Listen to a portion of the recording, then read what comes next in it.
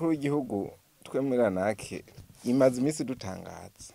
Mu bisanzwe umukuru w'igihugu yari afise ibyiyumviro byiza intumbero nziza y'uko igihugu cokogorora kigatera imbere ariko birababaje kumva iguma yidoga kandi umukuru w'igihugu afise uburyo bwose bwose ahabwa bwa mbere n'amategeko. Umukuru w'igihugu kandi ntiyabwiza kuguma yidoga kuko arafise ijisho. Ijisho ry'umukuru w'igihugu rero ni ijisho rininiya cane. Ijisho ribona kure ijisho ridashobora no kwihenda mbere.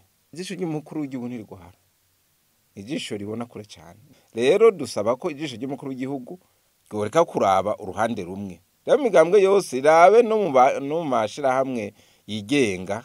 Mbere n'ubu adafise akazi hariho abakonsulta indepanda abikorera utwabo.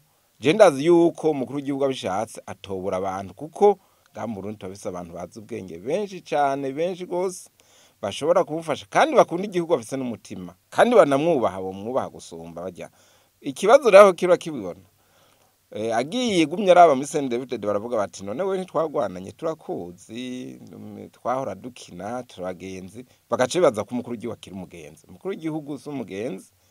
Ivyo nivyo bibagira rero nico gituma tumusaba tuti ntasubire kwidoga ahubwo nakura amaboko mu mpuzu. Abo bantu abona ataco bamumariye abate ku ruhande aje kurondera abandi bamufasha